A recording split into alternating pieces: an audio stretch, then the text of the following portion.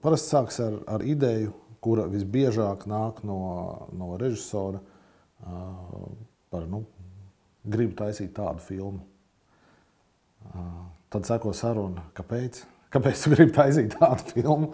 Kas tā būs par filmu? Un tad, ja, ja, ja tie šie, nu, interešu vektori, režisori un producenti sakrīt, tad, tad viņi ķerās pie darba. Un, nu, nākamais, nākamais posms droši vien ir atkarībā no tā, vai ir piesaistīts arī scenārists vai režisors pats ir scenārija autors. Bet, nu, jebkurā gadījumā nākamais posms ir izveidot tādu scenāriju īso versiju, ko, ko sauc par trītmentu, apmēram 20 lapušu garu pārskatu par visu filmu saturu pēc kura jau var redzēt tos galvenos nu, atslēgas, atslēgas momentus, kā, kāds ir sižets, mm, kas filmā notiek, kāds ir stāsts, apmēram jau ir priekšstats, kāds varētu izstīties. Tad, kad šīs 20 lapušu trītments ir izstrādāts jau nu, diezgan pietiekami, pietiekami uh, gatavs un saprotams un pārskatāms, uh, un, uh, nu, varētu teikt, ka ir tas filmas skelets, pam, pamats. Tad nākamais solis ir jau izvērsts scenārijs, kurš nu, parasti, tas, protams, nav akmenī kalns, bet nu, plus mīnus viena minūte vienu lapus apmēram. Es domāju, ka tur jau tiek attīstīti dialogi, ne tikai sižeta pārskats, bet arī dialogi, ko, ko personāži runā savā starpā. Un šis darbs pie scenārija var ilgt pat gadu, divus. Tas ir tāds nu, process, kas īpaši tādā mazā industrijā, kā, kā pie mums, kur, kur um, tas, tas, nav, tas nav noteikts. Es domāju, droši vien, ka Holivudā, kur ir citi ražošanas jaudas un apjomi un arī principi, tas notiek savādāk, bet, uh, bet šeit. Um, Tas ir nu, tāds laikietilpīgs process, un scenārijs tiek pārrakstīts, pārrakstīts, pārrakstīts līdz kamēr viņš ir nu, tādā stadijā, ka uh, režisors un producents saka, jā, šo mēs varam filmēt. Šis ir tas dokuments, uh, uz kura pamata mēs tālāk taisīsim filmu. Un nu, pēc tam jau visi, visi pārējie, pārējie procesi, kurus mēs zinām, tātad aktieru atlase, lokāciju atlase, filmēšanas grupas savākšana kas ir lielā mērā arī nu, producentu atbildība salikt kopā pareizos cilvēkus, lai, lai sasniegtu maksimāli labu rezultātu. Pēc tam filmēšana, droši vien pats sarežģītākais no, no visiem etapiem. Nu, tāds koncentrētākais uh, Katrā ziņā priekš manis personīgi vienmēr filmēšana ir tāda, atgādina tādu kara situāciju. Tad, kad ir pabeigta filmēšana, tad es vienmēr jūtos jau atvieglots, jo pēc tam montāžā, pēcapstrādē, krāsa korekcijā, eh, skaņas, mūzikas veidošana, tajā vienmēr ir eh, tā atbildība nav mazāka, bet tu neesi tik ierobežots laikā. Līdz ar to ir arī nu, mazāks tas stresa līmenis. Bet pats filmēšanas periods vienmēr ir kaut kas tāds, kur uh, ir noteikts uzdevums, kas ir jāpanāk, bet tu esi ierobežots laikā. Tu nevari to vilkt bezgalīgi. Tev ir konkrētā dienā jāizdara konkrēts daudzums un jāizdara labi. Un, nu, Iespējami uh, labi, augstākā kvalitātē. Un, uh, un tas, nu, man, man šķiet, ka tas ir tas viss vis sarežģītākais, vis, uh, visgrūtākais um, filmēšanas posms. Nu, jā, un pēc tam, kā jau minēju, montāža, montāža Līdzīgi kā ar scenāriju, filma tiek montēta, pārmontēta, pārmontēta, pārmontēta, kamēr tiek nu, sasniegts tas vēlamais vai iespējamais labākais rezultāts. Uh, kur, protams, arī ir jāprot vienā brīdī pateikt, ka tagad šī filma ir samontēta. Jo līdzīgi kā ar scenāriju, rakstīšanu un pārrakstīšanu, arī pārmontēt filmu var uh, simtiem reižu vai, vai tūkstošiem reižu. Vai, nu, tas ir process, kur var darīt bezgalīgi un nekad neapstāties. Bet ir jāprot vienā brīdī pateikt, ka lūk, šeit mēs apstāsimies. Šādi, šādi tā filma izskatīsies. Tad, kad ir pabeigta montāža, tad uh, skaņa, skaņa, ieskaņošana, skaņas apstrāde, mūzikas rakstīšana, krāsa korekcija un pēc tam jau nu, tas, ko sauc par masteringu, gatavās filmas. Tātad, um, nu, ko, kopā salikšanu, lai, lai viņi jau varētu rādīt uz ekrāna.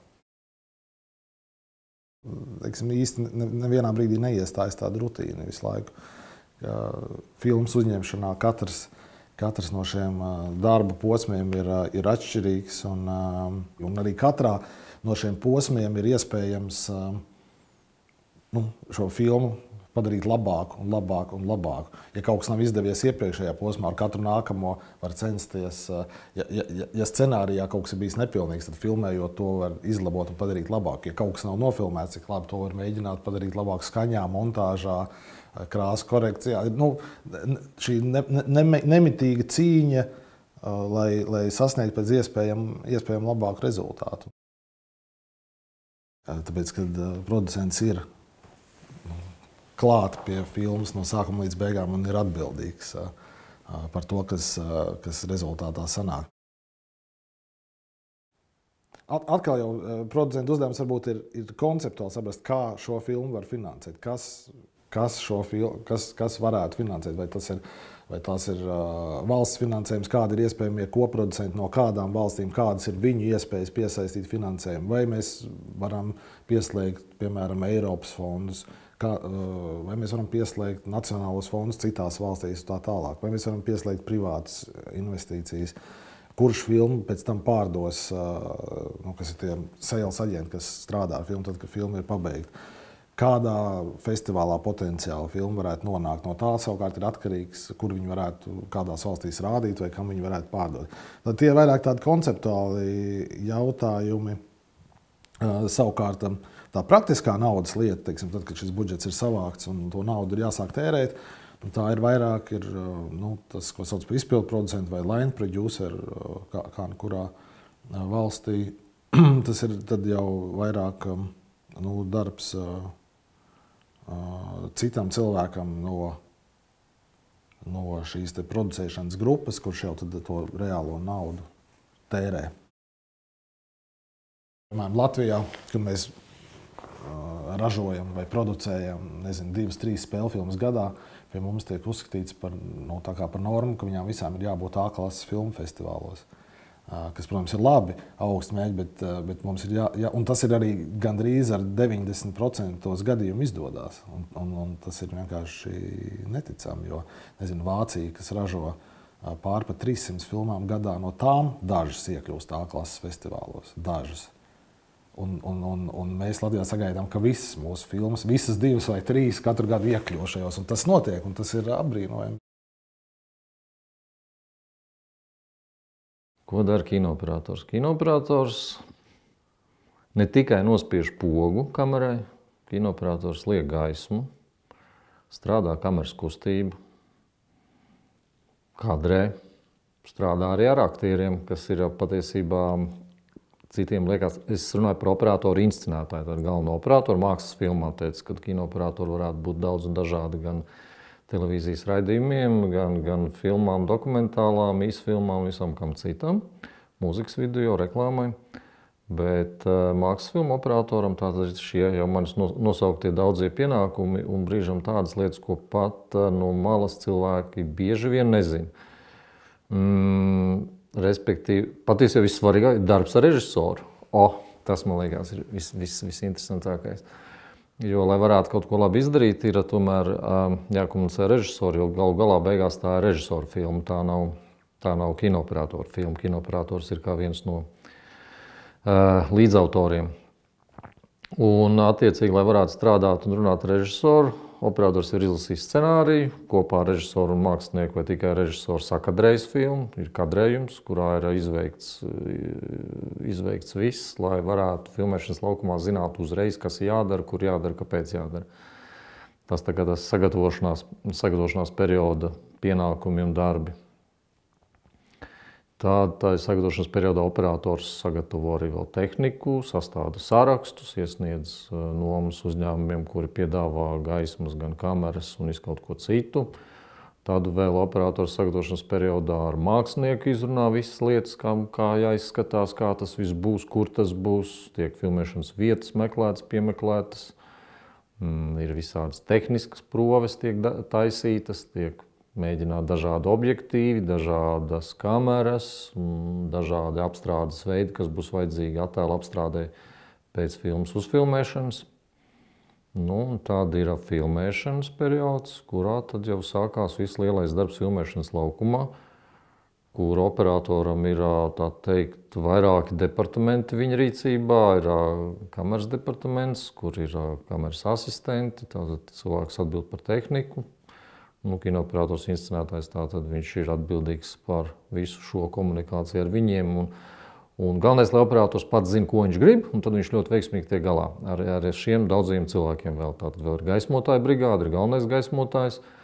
Mm, kas uzņemas mm, atkal tā tāds tilts starp uh, operatoru un pārējo uh, gaismotāju komandu, kurš arī iedziļinās scenārijā un saprot radoši, kas būtu jāizdara un ko operators vēlās. Tas arī izrunāts ar gaferu, kas ir angliskais žargons, ne žargons nosaukums uh, galvenajam gaismotājam. Nu, jā, tad, tad ir tā gaismotāja brigāde, un tad ir vēl palīga tehnikas brigāde, kas ir sliedas rati, krāni, stedikami un visādas tādas palīga ierīces, lai varētu kustināt kameru vai, nezinu, tur iestūķēt viņu ūdenī vai visko tam līdzīgu. Tad, respektīvi, operatoram ir diezgan, diezgan daudz cilvēku, par kuriem viņam ir jāatbild par viņu darbu un tā tālāk. Un plus operatoram vēl jā, jākomunicē tālāk ar režisoru. Ir tā, ka operātori nenormāli ietekmē filmas budžets. Nenormāli. Jo principā operators izveic uh, kaut kādu, protams, var uzfilmēt ar, ar vienu objektīvu un kaut kādu sliktu vai labu, vienalga kaut kādu kameru, bet tas būs kaut kas, es nezinu. Uh, es aizmirsu, kurš ir Japāņu režisors, kurš bija vispār izvē, filmējis vispār savus filmus tikai ar vienu objektīvu, 50 mm objektīvu. Viss kā princips. Bet tas ir princips, un tas rada uh, Tas, tas ir pilnīgi kaut kas radošs, kaut kas cits. Un, un kaut kas cits būs, ja, ja man būs pieņemsim 6, 7, 17 objektīvi. Es nezinu, vai manis izvēlētas lietas, ko es esmu izvēlējies. Nevis producenta piedāvātas vai, vai naudas uh, mazuma dēļ iedot, nezinu, fotoaparāts un filmē, jo viņš arī redziet filmē. Tas būs pilnīgi kaut kas cits. Tā, jau, tā jau ir iejaukšanās kaut kādās uh, augstākās lietās, un tas operātori tas nenormāli ietekmē. Protams, vislabāk pirms sāk domāt, jūs skaidri gaiši pasakāt, vecīt, nekā mums nav. Mēs filmēsim uz nekā. Nu, tad, tad arī sāc domāt, kas tas būs, tas nekas, nu, uz ko mēs filmēsim. Ja pasaka, ok, būs daudz maz, var domāt brīvi tagad. Un netaisīt iekšējo cenzoriņu, protams. Tas skar ļoti daudzas profesijas filmēšanas laukumā. Tos pašus, es nezinu, arī uh, arī skaņas cilvēkus, kostīmus, mākslas departamentu, jeb, jebko, kas ir saistīts ar praktiskām lietām, ka tu, tu nevari apsēsties pie rakstām galda ūdens glāzi un gudri filozofēt, lai, lai varētu uzfilmēt kādu ir, nezinu, jāatnes kamera, jāuzliek gaisma, jānogrimē aktieris, jāpēd, lai nenomirtu badā maiņas beigās. Nu, tas viss maksā. Un, un, un, un, un tāpēc operatori tas, un vistraģiskākais, ja ka, ja, ja, ja tas skar operatoru kaut kādu šī, šīs ne, ne, nedafinansēšanas vai, vai beznaudas situācijas dumjās, nu, tas drastiski ietekmē filmu. Nu, tā, tā ir pilnīgi cita filma uzreiz. Vienkārši katrai, katrai idejai ir savs garums. Un tad es uzrakstu scenāriju, tad es uh, mēģinu kaut kur iesniegt, ja tajā filmā ir finansējums. Tad mēs tālāk ķeramies klāt ar operatoru, vai ir gadījumi, kad ar mākslinieku uh, veidojam filmas kadrējumu. Nu, tad ir grupa, tad mēs taisām kino, un tad es viņu montēju. Viss. Tas ir mans izpausmes veids. Ir cilvēki, kas komponē mūziku, ir cilvēki, kas raksta. Varbūt, es nezinu, var gadīties, bet, bet, bet nu, tas ir tāds varbūtība. Varbūt es būtu spējīga rakstīt, varbūt. Bet, bet kino tas ir vairāk, tas ir daudz slāņaināk. Man, es, es nezinu, ko es darītu, teiksim, ar, ar, ar kompozīciju, kur es viņu, kā es viņu literatūrā dabūtu iekšā. Jo kino ir tik, tik daudz visādu elementu, un tie visi ir. Tas viss ir interesanti, ka to visu liek kopā. Un, nu, man liekas, ka tā ir mana valoda, kurā runāt. Kā filmu veidotājiem man ir nepieciešams kinocentrs, kas ir šī buferzona, kas neļauj politikai pat aizsnot. Pat aizno uh, ietekmēt nu, mākslas darbu tapšanu. Jo pretējā gadījumā nu, mums var būt labāks vai sliktāks kultūras ministrs, bet kultūras ministrs vienmēr nāk no politiskas partijas, tāpēc, tāpēc ministrija vienmēr būs politizēta. Un, un, un tieši tāpēc, nu, vismaz man šķiet, ka uh, ir iespējams, nu, vismaz šie gadi, uh, salīdzinot ar daudzām citām valstīm, ka man, nu, vismaz man, man ir bijusi uh, iespēja taisīt politiski neietekmētas filmas. Es uh, piedaru pie tiem, uh, pie, tā, pie tās unikālās paudzes, kas, uh, kas ir piedzīvojuši gan 35 mm filmas, gan uh, tagad uh, DCP. Un, un, un, un patiesībā tas, šī tehniskā, tehnoloģiskā pārmaiņa, tas jau nav tur simt gadus atpakaļ. Jo es vēl atceros, ja, liekas, nu labi, kas tur nesējas uh, filma vai, vai tur tā kastīte. Protams, kastīte ir vieglāka, bet, ja tā padomā, piemēram, uz festivālu, pat uz festivāla atlasēm. Es nerunāju kā filmu, ko rāda, bet uh, uz festivāla atlasēm uh, mēs sūtījām arī 35 mm. Es vienkārši es fiziski atceros, kā es aizstiepu. 35 mm buļbuļs, filmas uh, Pitons buļbuļs, atlasēju uz Venecijas festivālu. Un, un viņu atlasīt pēc tam. Bet tas, tas šobrīd liekas, pirmkārt, um, nu, mēs tagad vienkārši failus sūtam un viss. Vai deviņu scenāriju pilna pasaule? Taču katrs tas ir tā abrīnama profesija, kur katrs ir uh, gatavs rakstīt un katrs uzskata sev par scenāristu. Vienmēr, jebkurš scenārijs tomēr ir kaut kādā žanrā, kad ir jāmēģina Nu, ja tu to izvēlējies, tad ir tā žanra likumos strādā. Nevar tā mētāties. Jo, principā, jau scenārija nav taču absolūti nekāda problēma uzrakstīt. Ir tev fabula, ir tev raksturs, un tas, tas, ko viņi, tas raksturs diktē to, ko tas cilvēks grib. Kāpēc viņš eksistē, ko, kāpēc viņš ar tiem pārējiem. Un valoda, trīs lietas, un uz priekšu. Es pat vienreiz mēģināju vienu, vienu stāstu rakstīt. Un iznāca tā, ka nu, tas pats scenārijs man iznāca. nav, nav šī nu, tāda. Šī otra literatūras žanra, tāda, tā arī cita pasaule. Ezerai ir diezgan daudz tādu ne tikai stāstu, bet arī romānu, kas ir izcili romāni, bet kuri mm, kuri nav, uh, nu, viņi nav scenāriji. Viņi, viņi kaut kādu droši vien pārveidošanu viņi piecieš un varētu iznākt, bet, bet ja tu scenārijā tas jaukums tajā scenārijā tas, ka tu, tev, tu, tu raksti un tev viss ir jāredz. Stāstā tu vari lasīt un domāt, un stāstīt, uzticēties autoram un izdomāt pats, kā tas bija, kā tas būs, kā tas. Bet te, teiksim, šī te, šie vārdi ir lieki tā. Viņš domāja, ka aiz durvīm stāv vai nu stāv vai nestāv, tas jāredz. Šī te, Nu, nerunāsim par, par fabulu, par tēliem, par raksturiem, kam ab, abās vietās jābūt, bet tas pamatā ir tas scenārijs tomēr piedāvā savu skatījumu, savu redzējumu, savu ekrānu. Stāstā tas lasītājs katrs izveidos savu filmu. Tāpēc jau arī bieži vien rakstnieki mm, nu, saka, tas nav mans, tas nav, tas, tas, tas, tas ir fuj. Jo viņš arī nespēja atteikties no, tā, no tās savas vīzijas.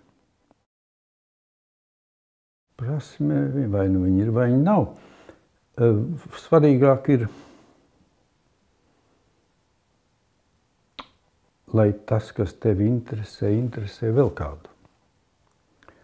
Lai ir šī em, pēc tam ne tikai tā prāta līmenī, bet lai tas ietekmētu un interesētu emocionāli. Tas ir tas, tas galvenais, atrast jebkuram stāstam šo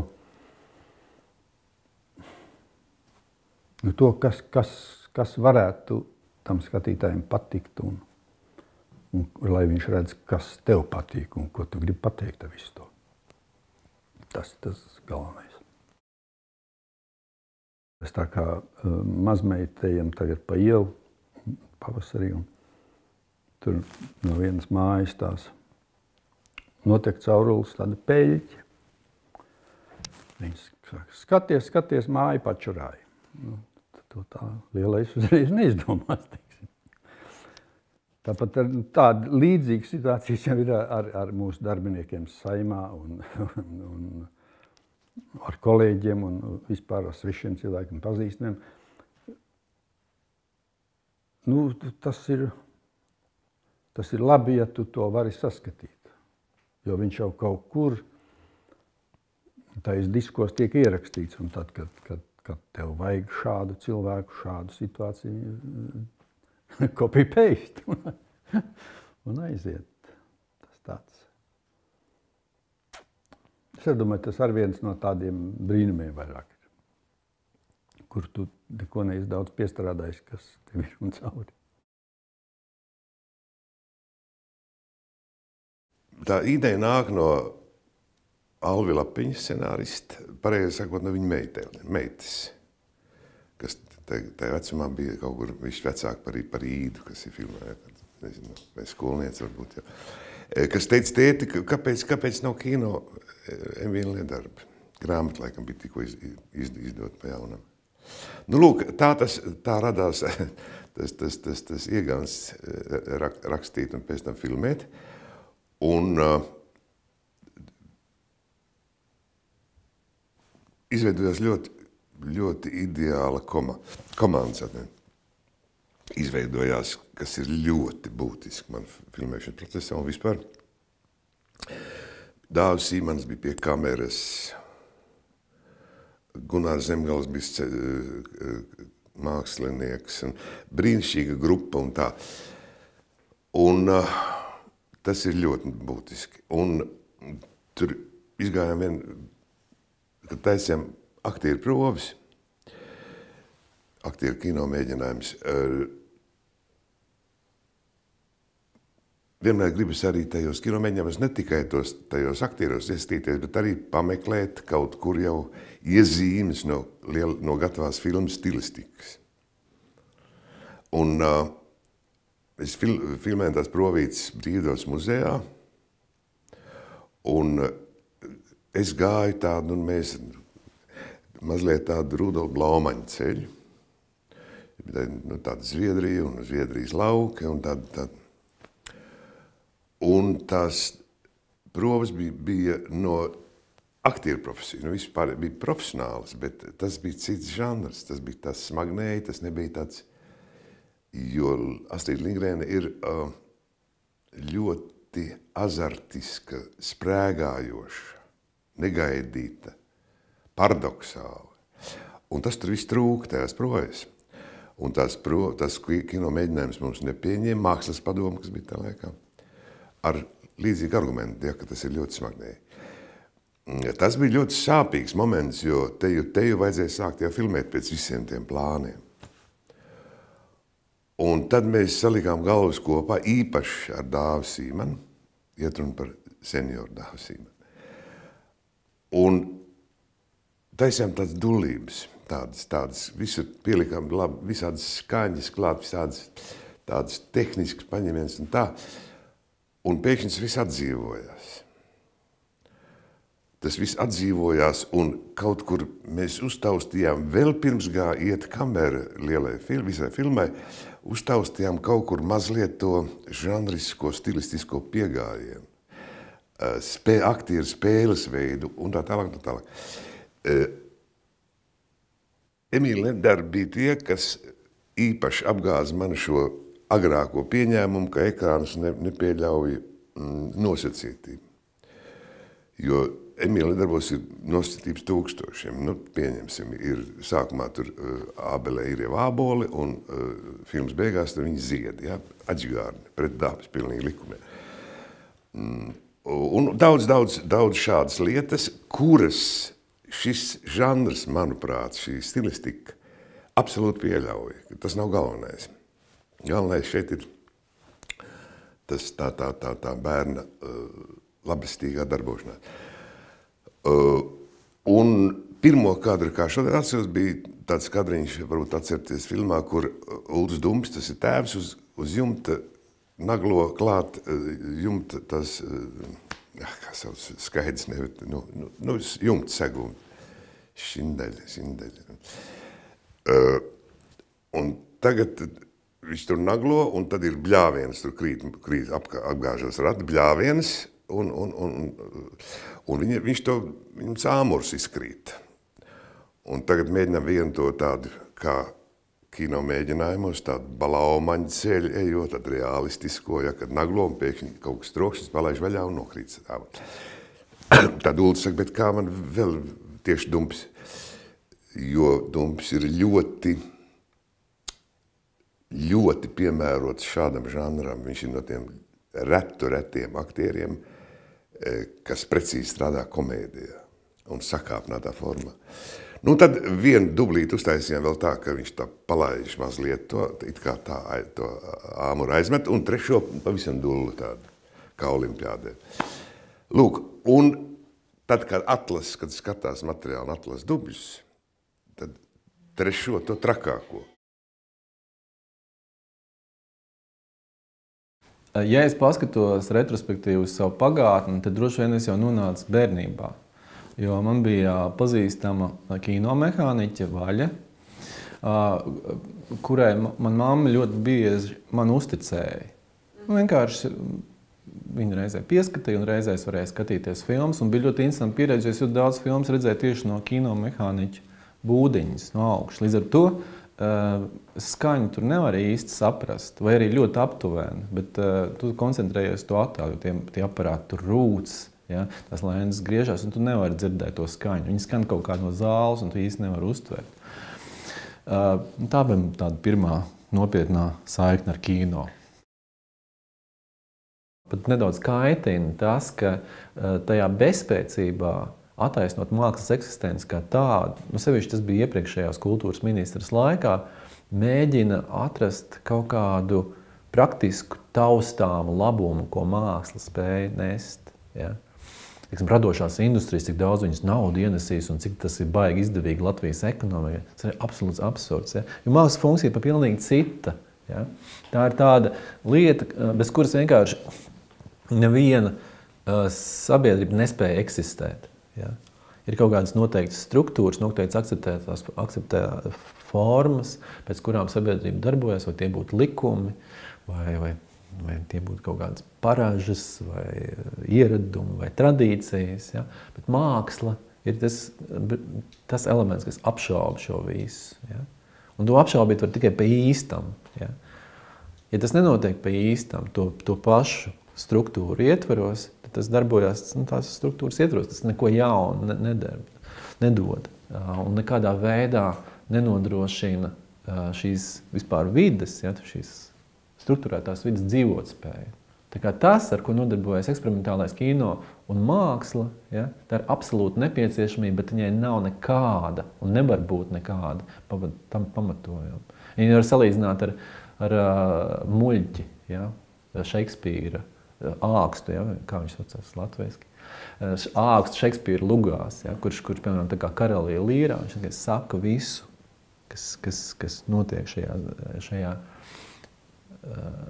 notiek šajā vidē, un tajā pašā laikā viņam nav nekāda nepieciešamība pielāgoties šīs vidas spēles noteikumiem. Man, man svarīgi, lai tā, lai, lai tā veiksmīgā filma būtu, lai viņi man personīgi uzrunātu, lai viņi iedod par galvu. Ja? Lai tas nebūtu kaut kāda klišēja, iepriekš redzētu paņēmienu atražošana, ja? lai tur būtu tas radošais, tas lēciens nezināmā. Un, un, un to, to nav iespējams uzkonstruēt. Tā, kad, ja, tas, tas, tas process, viss, ja, tas kino veidošanas process, ja, ja, ja tu ej pa tām iepriekš zināmajām sliedēm, ja tu veido neizējot no, no, šīs, no šīm sliedēm, kas interesants tur nevar, nevar sanākt. Tas, tas, tas, tas, tas ir mans uzskats. Ļoti ilgs laiks eh, strādājot, vai sākot veidot eh, filmas, paiet, eh, kamēr cilvēks attīrās no iepriekš uzkrātajiem sārņiem. Ja.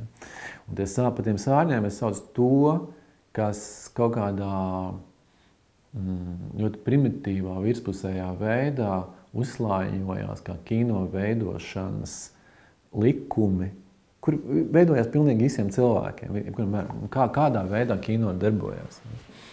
Un tikai tad, kad, kad bērniem notiek tas klikšķis, ja, vai cilvēkam notiek tas klikšķis, un, un viņš ierauga to, ka kino darbojas daudz dziļāk nekā tikai šajā virspusējā darbības, ja, primitīvu notikumu līmenī, tikai tad notiek kaut kas interesants. Ja. Bet līdz tam ir, jāno, ir jā, jāno, jānokļūst. Ja? Un ne visiem, ne visiem notiek tas klikšķis. Ja? Pat, pat cilvēkiem, kas pabeidz augstskolu vai teiksim, bakalaura līmeni, viņi pabeidz un taisa tieši tādas pašas primitīvas filmas, kurās tas klikšķis nav noticis. Tā kā noteikti vajag mēģināt, bet tas nav tik vienkārši. Ja? Tā kino maģija neatklājās, neatklāja savus noslēpumus uzreiz. Nu, kad, ne, tad, kad tu filmē, tad, tad, tad, tad, tad tas ir pirmais process. Protams, kad tu filmē, tad tu mēģini satvērt netveramo. Ja? Tu mēģini izdarīt, pārkāpt pāri savām profesionālitātes robežām. Tas ir pirmais nosacījums. Ja?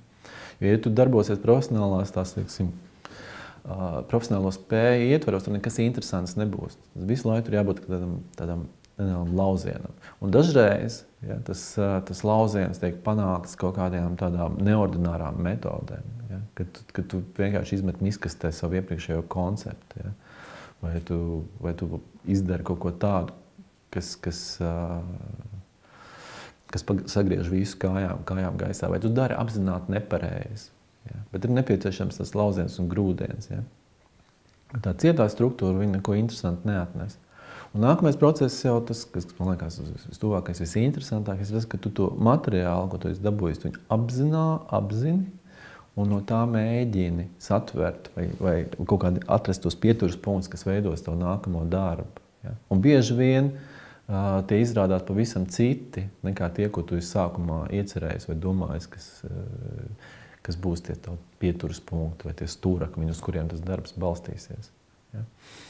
Bet man, man, man ir ļoti interesanta spēle ar, ar realitāti, ar, ar apkārtējo vidi, kas kaut kādā veidā ietekmē darbu. Jo pilnīgi atšķirīgi, atšķirībā no Hitchcocka, ja, kurš teiksim, deklarē to, ka viņš izdomā filmu, nākamais jau ir pilnīgi būtībā tehnisks process un diezgan garlaicīgs, ja tu uzfilmēt. Man ir, man ir pilnīgi otrādi. Man, man, pilnīgi, man neliekas interesants tas, ko es izdomāju. Nu, tur nav nekāda brīnuma. Un tas brīnums, tas negaidītība, tas atklājums, tas veidojās tajās, tajās mazajās nobīdēs. Ja? Un es cenšos kaut kādā veidā tās nobīdes pastiprināt filmēšanas procesā. Avangarda kino piedāvā pavisam citu skatījumu uz kino, uz attēlu, uz Tas ietver visu, ko attēls spēja piedāvāt. Ne tikai semantisku līdzību, Ja? Mimētisku līdzību ar kaut kādām precīzām semantiskām uh, interpretācijas kodiem, ko piedāvā narratīvais kino. Ja? Eksperimentālais kino ir daudz spēcīgāk. Viņš piedāvā faktūru, kustību, kas, kas bieži vien ir arī nodalīti no tīri mimētiskas interpretācijas. Bieži vien uh, tas ir abstrakts, tas ir pilnīgi kaut kas abstrakts, pilnīgi uh, nereprezentatīvs. Pirmkārt, operators ir pati vecākā un varbūt zināmā mērā pati īstākā kinematografiskā profesija. 1895. gadā, kad brāļi Lemjēra uzņēma e, savam pirmajam kinoseansam Ziemassvētkos Parīzes kafejnīcā savas pirmās, kas saka, filmas, e, bija operators pie, pie kameras, vai ne? Un e, tikai vēlākos gados kaut kur parādījās nu, tādi e, tīrasiņu e, režisori, mākslinieki un, un, un, un, un kino aktieri, vai ne? Bet līdz šai dienai neviena filma nav uzņemta bez operatora. Pat tad, ja, ja šo operatoru funkcijas veid, veids kādas citas profesijas, kas ir pārstāvs, bet tie uzdevumi viņam ir vienu un, un, un, un tie paši. Un, un, uh, tas uh, apstākļus vien kā uh, operatoram ir jābūt nu, nepārprotam, kas saka, ar mākslinieckām dotībām. Viņam ir jābūt arī tehnikas pārzinātājiem. Sevišķi padomu laikā stipri bija visam jārēķina līdz, cik tu laiku tērē, vai tu iekļaujies laika limitos, naudas limitos. Nu, tas viss, viss, viss kas kopā ir tāda vesela virkne īpašību, kurām, kurām ir jābūt, bez kurām nevar, nevar, nevar būt. Nezinu, vai precīzi pateikt, mēs tur bijām laikam 30, uz 36 vietām, tu kaut kas pie 800 cilvēkiem. Un, un, protams, ka starp tiem bija daudz tādi, kas centās nu, nodrošināt savu vietu studentu vidū, nu, nevis ar savām zināšanām, bet samazinot konkurenci, sabojājot saviem nu, kolēģiem, ja tā viņus var saukt, nu, tos darbus. Fiksāžu lēja klātais tumšajās kabīnēs, attīstītajiem saskrāpēji, nu, bāliņi runāja pa putekļiem, un es saskrāpēju negatīvus, vai ne, nu, katrā ziņā tādā veidā, kad nu, es tāds, kā skorpions, tāds kašķīgs, es sameklēju Anatoliju Galavņā operatoru, kas bija mūsu fakultātes dekāns, un, un tā viņam tā jautāja, bet tā tiešām institūtā nevar nodrošināt nu, tādu elementāru nu, kārtību. Tādu. Viņš teica, tā, ņemiet vērā to, ka operators nav tikai profesija, tas galvenokārt ir raksturs. Nu, tad mēs sametāmies kopā ar, ar diviem igauņiem un Nu, tur visādi, kas saka, starpgadījumi, ne nu gluži līdz kaušanās līmenim, bet nu, kaut kur tur ar tādu zinām, nu, savas pozīcijas apliecināšanu. Tikai varbūt otrajā kursā, kad jau parādījās mūsu kursam nu, meistars Aleksandrs Vladimirovičs Galpērins, varbūt tad man radās kaut kāda nu, tāda nu, vismaz ticība, ja ne pārliecība, ka es esmu izvēlējies pareizo profesiju, jo man šis cilvēks ar kolosālām zināšanām, ar enciklopēdisku, nu, tādu eh, kino pārzināšanu, ar, nu, ar daudzām tādām, kas saka, īpašībām, mm, visvairāk pārliecināja vai iepriecināja tas, ka viņš maz runāja par, par profesiju, kas viņš mums nemācīja amatu. Bet viņš visu laiku saka, runāja tādas it kā kaut kādas tādas dzīves patiesības, e, sūtīja mūs uz izstādēm, palasiet to tādu, un beigās izrādījās, ka visa šīs nu, viņa attieksmes rezultātā es atradu savu vietu dzīvē, uzņemšanas grupā, visā studijā kopumā, nu, kino kā tādā. Un amati jau cilvēks iemācās nu, to, to praktisko pusi no, pats no savām kļūdām un no tādas labvēlīgas skaudības, ka tavs kolēģis kaut kur ir izdarījis nu, kaut ko labāko, vajadzētu varbūt tā apdomāt, ja neatkārtot, tad vismaz apsvērt, kas no tā ir, kas ir ņemams. Viens nu, tāds moments ir ļoti spilgts. Tas, ka pirmajā filmā tajos kārklos, nu, kaut kur pēc kaut kāda uzfilmēta vijas Artmanas tur tāda tūplāna, viņi man pienāk klāt pie kameras un saka, nu kā? Un es tā, tāds apjūts, es saku, viņa, bet nu, taču ir režisors, prasiet viņam. Jā, bet viņš uz manis skatījās no malas, bet tu man redzēji tādu, kāds, kāda es būšu uz ekrāna tādu. Un tas, ka viņi pie manis nāca kā pie operatora, nu, pie, pirmā, nevis pie režisora, nu, tas man nu, tā, nu, radīja tādu ļoti pozitīvu vielu, kas tādām pārdomām. Nu, vispār tā ir ļoti mistiska profesija. Būšana par uh, filmu režisoru īstenībā tā ir uh, tāda, viņa vairāk ir attiecās uz kaut kādu ezotēro lauku nekā uz, uz reāli praktisko. Jo tāpēc, ka, man liekas, ka cilvēks uh, šo filmu režisoru funkciju nekad tā līdz galam nodefinēt nevar. Nu, kā, kas, kas, ir, kas tad ir šī režisora īstie pienākumi un kādā veidā viens režisors ir režis, vairāk režisors nekā, piemēram, cits režisors. Un tā pašā laikā var, var, to, ko var fiksēt, to, ko var saprast, ir tas, ko režisors dara. Nu, vismaz daļēji, ko viņš dara. Nu, viena lieta, kas ir ļoti svarīga, ir tas, ka viņš kaut kādā veidā pārceļ kaut kādu pieredzi, vai nu citu cilvēku pieredzi, vai savu pieredzi, pārceļ uh, kino valodā. Tad viņš mēģina iesaistot dažādus citus profesionāļus, kas ir daudz lielāki profesionāļi nekā iespējams viņš, tāpēc, ka viņi dara daudz praktiskākas lietas, kā operators, kurš ir Eh, to spēja nofilmēt, kā skaņu režisors, kurš spēja to ierakstīt eh, un padarīt filmai pievienot skaņu celiņu, kā filmas mākslinieks, kā filmas kostīmu mākslinieks. Eh, un tā tālāk, tad viņš, režisors īstenībā, viņš vienkārši iesaistos cilvēkus, kaut kāda veida pieredzi pārceļ kino valodā tādā veidā, kas visticamākais tā galu galā ir skaidrs tikai viņam pašam. Ja, tas nozīmē, ka, ka, ka viņam ir tāda vidutāja funkcija, vidutāja funkcija, kuru, kurā viņš mēģina no vienas puses precīzi dot norādījumus, kā katram profesionālim, kas ar viņu kopā grupā darbojās, strādāt.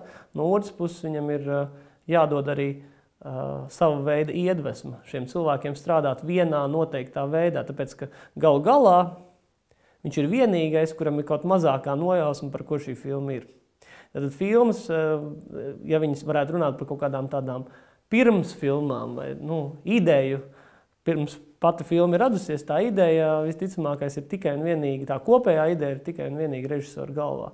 Jo pārējiem, pārējiem iesaistītajiem cilvēkiem vienmēr tā būs tikai kaut kāda daļa no šīs idejas, tajā e, fokusējoties tieši uz to lauku, ko viņš katrs pārvalda. Ja. Tas, kādā veidā šī pir, pirmā ideja pie tevis atnāk, kā šī doma, not, kā tu viņu notver, vai ne, kad īstenībā tev ļoti grūti izskaidrot. Es domāju, ka, tā, ka bieži vien cilvēki pat pēc tam retrospektīvi vairs nav spējīgi pateikt, kā, kā tas bija, kur tad, kur, kāpēc es izdomāju taisīt filmu par to un to. Pēc tam tas process kļūst daudz pragmatiskāks, jo tāpēc, tu, tu vai nu strādā kopā ar scenāristu pie, pie, pie šīs filmas scenārija, vai scenārists strādā autonomi un tu vienkārši viņu kā, analizē, vai tu pats raksti scenāriju. Tas nozīmē, ka tev jau jāievieš kaut kādi um, filmveidošanas uh, likumi, jeb kaut kādi veidi parametri, pēc kuriem varēs vadīties tie cilvēki, kas ar tevi strādās. Tu viņiem, viņiem rakstīt kā tādu tā kā, gidu, ne, bet tādu grāmatiņu, tā kā preizkurantu, kā, kā, tad, kā tad būs jārīkojas. Un, un vienlaikus tas ir tav, tavs mēģinājums artikulēt uh, savas iekšējās bildes, jeb idejas kā bildes, tu viņas artikulē scenāriju formā. Tālākais jau process ir, nu, ir mēģinājums mm, maksimāli pietuvināt, realizēt šo ideju. Ja, kā, tad, tad šī ideja ir šajā protofāzē, protofilmas fāzē, kas ir scenārijs, viņa ir radusies.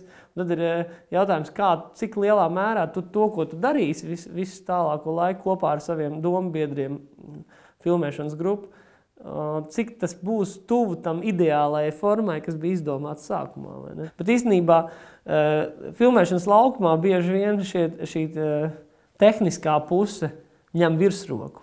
Un, ka tu īstenībā tev ir ļoti svarīga izstrāde, tik un tik tev vajag minūtes, tu katru dienu izstrādā. Tev, vajag, un tev ir jāpaspēj tas viss nogaismot, tev ir tas jānofilmē. Tev jā, jā, jādabū aktieri pareizajā uh, psiholoģiskajā varbūt, stāvoklī, tev viņi pareizi jāizvieto mizanscēnā, tev jārada blokings, kā viņi pareizi pārvietosies, kur ies, kā, kā tas notiks.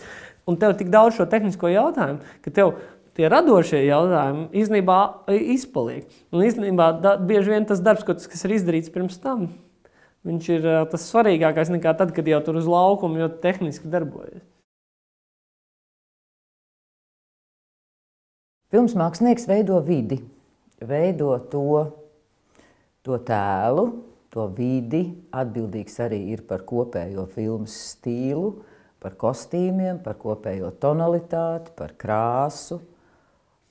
Un, nu, un tad viņš visu dara, lai to izdarītu. Visi saprot, ko nozīmē teātrī, ka teātrī ir dekorācijas uz skatuves, bet ļoti bieži uh, tiek būvēts no nulles, tas ir plikā vietā, tukšā vietā, tiek būvētas dekorācijas, lai varētu uzņemt šo filmu. Mākslinieks, tāpat kā mākslinieks teātrī, veido dekorācijas uz skatuves, Arī filmas mākslinieks veido šo vidi, šo scenogrāfiju, kur notikt filmas notikumiem. Un bieži vien tas ir jāpielāgo tehniskajām vajadzībām un operatoru tehnikai, eh, jāparedz, kā mēs šo kadru veidosim un kā mēs filmēsim. Piemēram, ja būvē dekorāciju paviljonā, tad mēs varam, eh, pieņemsim, noņemt griestus vai neuzlikt griestus. Savukārt no augšas mēs varam gaismot šo dekorāciju. Tāpat mēs veidojam atņemamās sienas. Kā tā, kad iet istabā, telpā vai kādā citā telpā, kā nu viņas sauc, ir visas četras sienas, bet ir tādas speciāli knaģi, ar ko var, kurus var atknaģēt vaļā un kādu sienu noņemt. Un tādā gadījumā mēs varam izmantot tā, šo telpu plašāku. Var arī transformēt šīs dekorācijas, nu, tā tad eh, paredzēt, kad, kad, kad viena telpa pārveidojas citā telpā, var dekorāciju izgatavot taisnu, tā kā mēs to redzam, bet, ja ir nepieciešams, mēs viņu var, varam izgatavot arī šķību, lai viņa izskatītos citādāk nekā, nekā, nekā tādā ikdienas uztverē. Jo filmēts tiek ar kameru un kinoobjektīviem, un kinoobjektīvi parāda uh, telpu ļoti dažādi. Platleņķis, piemēram, telpu izvērš un telpa liekas plašāka, bet savukārt garie objektīvi, šaurie leņķi, eh, telpu padara nu, šaurāku un kompaktāku. Un tādēļ mēs varam arī dzen, uzbūvēt dekorāciju tā, ka mēs eh, izmainām šo skatu punktu eh, attiecīgi, attiecīgi vajadzībai. Tāpat, piemēram, lai filmētu liliputus vai kādas tādas brīnumainas lietas, mēs uzbūvējam dekorāciju citā mērogā. Tā, lai pieņemsim, pieaudzis cilvēks varētu tēlot rūtīti, un tad galds būtu milzīgi liels.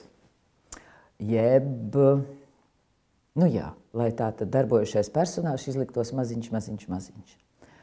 Nu, to var darīt arī kombinējot dažādas tehnoloģijas un dažādas tehnikas, kad kā izmantojot gan digitālos paņēmienus, gan, gan arī to var darīt uh, divreiz filmējot, jeb, jeb kombinējot, kompilējot šos kadrus. Kad mums, pieņemsim, ir lielie, lielie priekšmeti kopā ar maziem priekšmetiem, jeb lielie personāži kopā ar maziem personāžiem. Nu, un, uh, ir jāparedz arī gaismas efekti, kā mēs šo dekorāciju gaismosim tādā gadījumā. Eh, arī tām būvējot dekorāciju paredz speciālu, speciālu kaut kādu gan plānojumu, gan, gan tehnoloģiskos risinājumus, tā lai būtu gaismas avots, lai tas būtu interesants. Dažkārt tiek, bū, tiek piemēram, filmēti cilvēku sapņi, ka viņam liekas, ka viņš guļ gultā. Piemēram, filmā cilvēku dienas eh, bija tāds bija tāda dekorācija, kā cilvēks guļ gultā un tās sienas viņam ir kāds 6 metri augstas. Nu, tāds augsts tunelis virs viņa, jā, lai, lai parādītu, nu, kad viņam Viņam sapnī tā liekas, un tad viņš brauc ar to gultu, man liekas, augšā lejā. Tā kā ir ārkārtīgi liels iespējas, tas ir jāizdomā, tas ir jāuzzīmē. Bieži vien filma pirms tam tiek uzzīmēta. Uh, tiek, tiek zīmētas skices. Pirmais zīmēšanas periods saucās eksplikācija. Tas ir, tas ir tātad, nu, tādas galveno ainu galveno ainu zīmējumi ar raksturīgo koloristiku, raksturīgo noskaņu. Un tad tiek zīmētas eh, lielākas skices, un tad tiek zīmēti grafiskie projekti, tiek zīmēti rasējumi, tiek izstrādātas arhitektoniski šis, šis, uh, šīs skices un, un šīs būves, ja viņas ir jābūvē, un tad, un tad viņas tiek būvētas.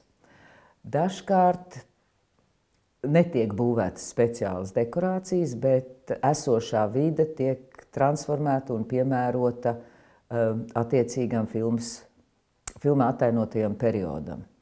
Jo bieži vien vēsturiskās filmās mēs, piemēram, mums ir vajadzīga pilsēta. Bet pilsēta ir ar mūsdienīgām detaļām. Tur ir iztaisīts eiro remonts priekšpusē. Un tāda mums ir savukārt, ja, ja, ja tur kaut kas trūkst, tad mums ir savukārt jāparedz, kādas detaļas mēs piebūvējam un šo pilu pārveidojam uz kino uzņemšanas laiku. Vienam otram liekas, ka tur ir vajadzīga laba tehnika, bet ar to vien ir pamats. Protams, tehnika ir vajadzīga. Tehnika ir vajadzīga, pie tam ne tikai skaņas tehnika bet arī laba filmēšanas tehnika. Jo kādreiz, kādreiz nu, tad, kad vēl uz filmas filmēja, ja, tad nu, tās kameras, kas bija Latvijas rīcībā, viņas bija ļoti skaļas. Pats kā tādas mehānika, ja, visas filmas griešanās. Un līdz ar to sevišķi ar to cieta uh, dokumentālais kino. Ja, jo, nu, tīri tehniski, to tu vari ļoti labi ierakstīt, tu vari visu ļoti labi izdarīt, bet tad Bet, ja tev blakus rūtas kamera, jā, nu, tad tas viss ir nebaudām. Ir vajadzīga laba tehnika, gan skaņa ieraksts, gan uh, filmēšanas tehnika. Nu, un ir vēl laba, vajadzīga ļoti laba teiksim, nu, tā vieta, kur tiek filmēta. Jo teiksim, grūti ir pārdot teiksim, šodienas filmā nu, 18. gadsimtu. Ja kur nav mums nevienas mašīnas, mums nav, tā, tur nav fabriku, nav nekas tāds, ja, kur, no ko, ko mēs vienkārši nevaram. Nu, ir grūti šodien atrast tādas vietas, natūrā vietas, kur teiksim, nedzirdētu pilsētu. Ir. Es zinu, kur ir Latvijā, ir un vēl vienā otrā vietā, bet pārsvarā šī pilsētas dunoņa ja, ir tāda, ka viņa nu, nu, bojā visu to. Un, ja tev filmas darbība notiek nu, vienalga 19. un 18. gadsimtā, tu nevari to lietot. Ja? Līdz ar to tur arī vēl tāda sakritība. Nu, ļoti bieži mums traucē vēji, ja? vējš traucē. Nu, ir tādas visas tās tādas dabas, dabas stihijas. Ja? Uh, ja, nu, Kādreiz darīja pat tā, ka skaņnieki ņēma līdzi un pirms filmēšanas, kad meklēja natūrā vietas, pat uh, skatījās arī skaņnieks līdzi, vai tajā vietā tur varēs tā vai nevarēs tā. Ja. jo ir gadījies, kad nostājās un filmēja aktieri ūdenskrituma tūmā. Vai strūklaks, teiksim, pie operas strūklaks. Bet filmā pārdod, ka tas ir kaut kur klusā, skaistā uh, vietiņā. Ja? Nu, līdz ar to tas ir tā, tās, tādas, tādas tehniskas lietas, un, un, bet ar kurām ir jārēķinās. Un tāpēc arī šodien pie visas, teiksim, labas tehnikas, kur mums ir, gan filmēšanas, gan skaņa tehnika, ļoti bieži arī nākās pārskaņot. Ar skaņu tu vari ļoti daudz ko pateikt, to, ko nepasaka ne bilde, ne aktieris. Poltergeists, skaņa. Gan arī teiksim, tos, kas nav, ko scenārists nav uzrakstījis ar skaņu, tu to vari pateikt. Papildināt, apgriezt otrādi. Tas viss ir, viss ir saistībā ar režisoru. Ko, ko, ko, nu, manuprāt, tur ir ļoti plašs lauks, jā, kur var strādāt. Un, ja teiksim, ir režisors, kas ar to rēķinās, tad var ļoti daudz ko izdarīt. Kaut vai vienkārši, ne, es nedomāju par kaut kādu kļūdu labojumu, ja? nē, vienkārši, teiksim, ir bijis, situ, bijis situācijas, teiksim, Gins nu pat bija, ja, kad pirms mēs filmējām filmu Kurpe, Lailas Pakalniņas filmu, tāpat kā operators ar režisoru sēž un taisa kadrējumu, mēs ar Lailu sēdējām un rakstījām skaņas partitūru jau pirms filmēšanas. Līdz ar to mēs jau filmējot, zinājām, nu, protams, plus mīnus vienmēr kaut kādas tur, nu, nevis nobīdes, bet jaunas idejas, teiksim, var nākt. Bet mums jau bija skaidrs, kas tur skanēs. Nu, nav mums to mikrofonu, kur likt tajā kadrā. Nu, nav kur nolikt. Es aizēju pie rekvizītora, viņš saka, klausies, noliekam te tādu mazu vāzīti. Ja operators nebļaus, ja, Es tur iebāzīšu tā lēnām tādu mazu mikrofonu. Mierīgi, saliekam, atnāk operators, es saku, tev tas traucē? Nē, viss kārtībā. Nu. Mūzika ir nu, nezinu, arī kaut kāda daļa no dvēseles, kas kā, un dzīvības. Principā. Viņa tāda tā kā tāds. Um, nu, mēs nedzirdam savu asins riti, bet mums tās asins cilvēkā rit cauri. Un, eh, bet, un mūzikai jā, īstenībā arī kaut kāda tāda nozīme, ka tev ir tas ķermenis, tā filma, un tad tev jāpalaiž tā, tās, trau, tās plūsmas cauri eh, šajā ķermenī, lai tev asins rit tajā, kur, kur tu dzīvo. Nu, un jā, un tad tajā brīdī jau tas viss atdzīvojas un kļūst organisks. Un es domāju, ka tas ir tas būtiskākais. Tā ir kustība kaut kāda, arī nu, jā, emocijas viens no svarīgākajiem, cik es tā esmu novērojis, faktoriem ir saprast eh, filmas režisoru. Jo režisors ir tas gandrīz vai galvenais radītājs, un viņš tomēr redz to gala um, versiju. Kā, kā, nu, te, teiksim, man ir svarīgi no viņa izvilkt to informāciju, ko viņš grib pateikt un, un kā viņš to grib izdarīt. Uh, Un uh, mūzika tad tiek tā kā, jā, mm, es, es mēģinu palīdzēt šo te režisoru galveno ideju tā kā iznest, cik es nu, varu, jā. Tas, nu jā, tas ir tas, varētu tas svarīgākais ir komunikācija ar režisoru. Un jau tur par stilistiku, par tehniku, tas jau ir tāds jau tehnisks jautājums. Un, nu jā, un, un, un, un, tad, kad tu skaties filmu, tad jau atkal tad ir nākamais, kā tu nu, sajūti šo filmu. Ja režisors tev ir pateicis, kas tur jāpanāk, tad jau tev ir vieglāk. Ja viņš nav pateicis, viņš saka, ka jūties brīvi, tad tu pats vienkārši izveido savu tādu priekšstatu, tad piedāvā atkal jā, režisoram, vai viņam šāds risinājums ir apmierinošs. Nu, jā.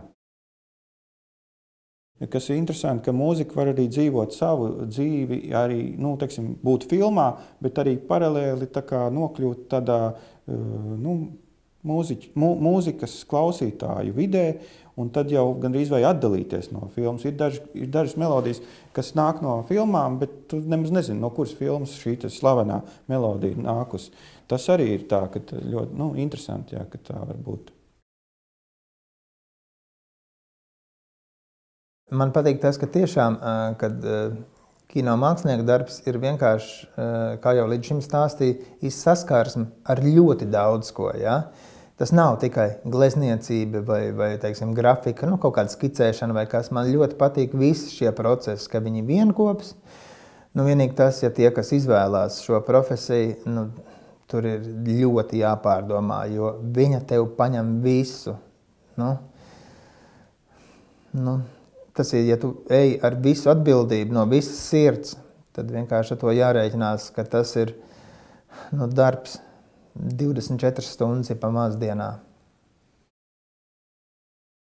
Rudolfa Mantona komandā bija uh, divi vai pat trīs rekvizītori beigās, jā, jo vienkārši bija viens, kas uz laukuma, viens, kas kaut ko gādā un sagādā, viens, kas kaut ko izgatavo. Tad bija vesela komanda, kas saucamie uh, mākslinieki, dekoratori, kas palīdz novicināt kaut kādas lietas vai dekorācijas vai kaut ko uzbūvēt papildus. Nu, tad nu, tērpa mākslinieks it kā ir pats par sevi. Protams, kad mēs esam vienā komandā kopā, kaut ko mēs pārnājam, bet nu, arī, arī tērpmāksliniekam ir pietiekami daudz ko darīt. Viņš ir aizņemts vairāk ar savu komandu, kas rūpējās par visiem tērpiem, lai viņi būtu laikā un formā.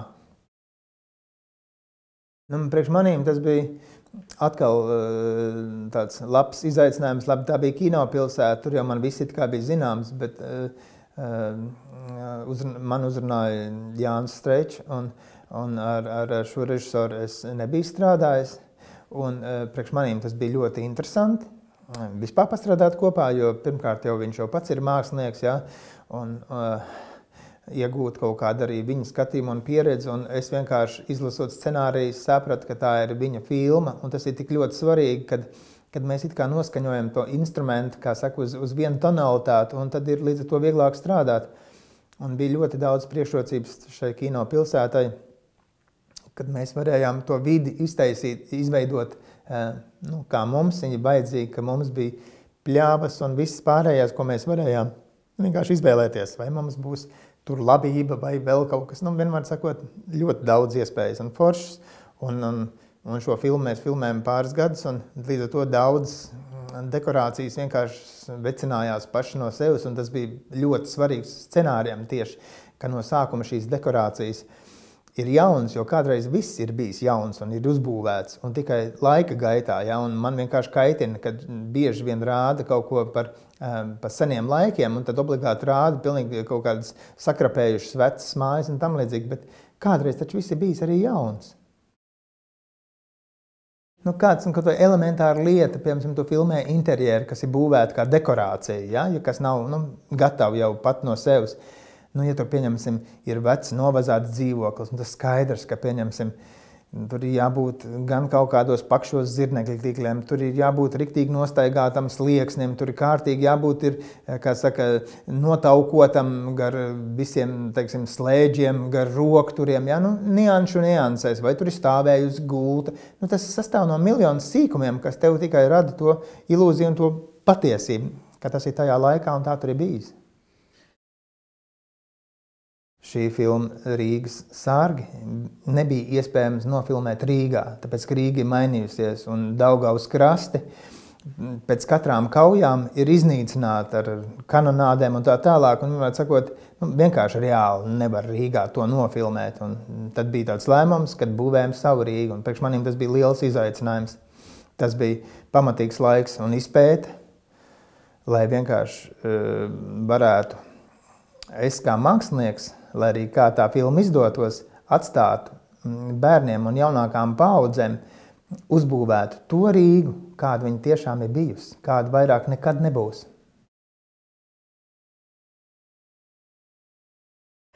Kad vispār filma top uz montāžu galda. Tikai tad top filma. Jo tas, kas ir safilmēts, tas viss Varbūt tā vai šitā, jo no jebkura materiāla var iztaisīt gandrīz vai komēdiju vai traģēdiju, tā teikt, uz montāžu galda. Tas viss. Un, un, un, un es, es jau es uzskatu, es biju nu, tā teikt, labā roka. Gribētu, gribētu ticēt tā, ka es biju labā roka režisoram pie montāžas. Bet, nu, Ir jau tagad, jau, cik es saprotu, režisors strādā montāžas režisori paši. Nu, režisors atdod materiālu un strādā. Es nezinu, ja mums kāds režisors, nu, šitiem, ar kuriem es strādāju, viņi, viņi nekad tā nebūtu uz mieru, ko es savā laikā esmu strādājis. Jo, Nu, es saku, nu, bija, nu, Krembergs atnāk tur man kaudzēm dubļu, viņš saka, meitenī, tiec galā, pēc tam es paskatīšos. Nu, tad es sēžu, es jau tad vienmēr smējos, nu, ko tu, kad nav otrs gudrs, sako parunāt, ko tu vari izdomāt. nu, Ir, nu, ir četri mēneši, kad ir e, filmēšanas periods. Montažors tiek piestiprināts no pirmās dienas filmēšanas periodā, un viņam vēl ir asistents, kas kārto materiālu. Materiāls mums nāca iekšā, bilde un skaņa uz platās tika pārkopēta. Nu, ja bija rakstījuši šaurās, tad pārkopēja uz platās. Tad tur bija skaņa operatoram asistents, kas to deva. Tad e, asistents to saliek, dubļus visus sa, saliek uz galda sinhroni. Tad iet skatīties montažors kopā, viņam ir lapas, kur ir ielikās tie dubļi, at, nu, tā teikt, uzrakstīts, kas, kas, katrs, kas tur notiek un tā. Tad atzīmē vajadzīgos dubļus. Protams, režisori nekad nevar izvēlēties vienu, vienmēr ir divi vai trīs. Un tad Tos atlasa, tad izraksta numuriņus ar roku rakstīju, uz filmas maliņas, tur uz perforācijām, ar tinti rakstītos numuriņus, uz e, skaņu rakstīju sinhronu, lai vienmēr varētu nu, griezt, tā teikt. E, tad e, tur ap zīmolu bija tāds steklogrāfs, speciāls zīmols. Nu, tas bija liels tehnisks process. Tikai, un tad, nu, kad ir atlasa, tad viss tiek salikt uz plauktiņu. Un režisors nāk salikt materiālu, melno montāžu. reizēm, ne, nu, reizēm viņš tā saliec pati melno, jo tā jau ir tā parasti tā, nu, tā vienkārši sagriež galus, tā teikt, lai tā kaut kāda secība iztaisa. Nu, un, un pēc tam jau kad ir beidzies filmēšanas periods, tad ir tāda gara, gara desa salikta, viss kopā, viss materiāls. Protams, daudz garāk, vienmēr pusotras reizes garāk. Tad skatās uz ekrāna visi, un viss ir šausmās. Kas nu būs? Jo, nu, tas, ir, tas ir briesmīgi skatīties ar visiem galiem, tā teikt. Nu, tad, tad sēžās klāt montažors ar šo režisoru un sāk štukot. Ko, kā, kur pārlikt, ko pārcelt. Epizodes reizēm pat tiek mainītas. Tiek, nu, nu, vispār ir reizēm pat, es zinu, ka es atceros, pavasara ceļzīmēs bija epizode, kur Andris Bērziņš ir slimnīcā kaut kādas divas. E, divas epizodes viņam, un vienā viņam ir melns krekls, vienā kaut kāds cits bija. Un beigās saprotu, nu nevajag tās divas epizodes, var apvienot vienā, bet viņš ir dažādos kreklos. Nu. Un kā tagad to var salēt, lai skatītājs nepamāna, ka viņš epizodes laikā nomaina kreklu. Nu. Nu, tāpēc tas darbs ir tik interesants, jo katru pusgadu ir jauns cilvēks tev blakus, ja personība pie tam, gudrs. Un tev ir pakāpeniski viņš Nu, ja, ko viņš grib? Jo, ko tu drīkst, jo ir jau katram jau jāpiedāvā savu, piemēram, taču nevar salīdzināt vai ne tur. Kā monte filmas, kāds ir Pēterim Krilovam vai Arvīdam Krievam. Tev katram ir, ja viena vai otra strādāja, un abiem bija bezgalīgi interesanti. Ja? Tā kā nu, tev vienkārši ir jāsaprot viņa doma, uz ko viņš virza to filmu, uz ko viņš uz to dara. Un tas ir, nu, tas ir tas interesantākais, ka tu atrodi ar viņu to, ka tu sāc domāt nu, viņa virzienā. Tad, ka, nu, no, tāpēc ir tie četri mēneši, kamēr iet filmēšana. Es nekad uz filmēšanām negāju. Es zinu, ka man liekas, ir tie, bet es negāju, tāpēc, ka tad tev ir svaigāk acs, kad atnāk materiāls. Ot, tad ir tieši tas, ka tu vari pateikt, režisors reizēm filmēšanas laukumā izdomājis, ka tur nezinu, kas ir. Bet, kad tu uz ekrāna nebūdam filmēšanas laukumā, tu vari skaidri viņām pateikt, ka nē, tas tur nenāk ārā. Nu, tādā ziņā. Tad, un tad domā, kā to dabūt ārā, kaut kā tur noskaņot, kaut kādu, nu, ko vajag to akcentu. Ja? Tad var montāžā to panākt. Tādā ziņā tikai. Piemēram, tur kāds cilvēks intervētas, tu viņam krekšķīšus un visus ņem, griezis ārā. Un tagad e, pēkšņi nejauši te pa ielu redz, ka viņš nāk tev pretī, bet viņš jau tevi nezina. Bet tu viņu esi viņa seju izpētījusi pilnīgi līdz pēdējām. Nu, tā, tas, tas tāds saudabīgs gājiens ir. Kad...